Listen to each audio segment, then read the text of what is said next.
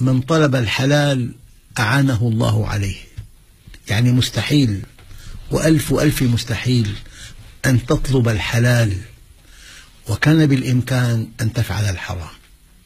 لكنك خفت من الله.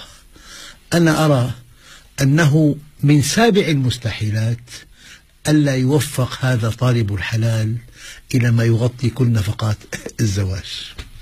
هذا إيماني بالله. ألا يعتبر تقصير بالأسباب دكتور أنه أنا مش هو لأنه أحيانا بيكون في ضرورة للزواج ضرورة شديدة. نعم.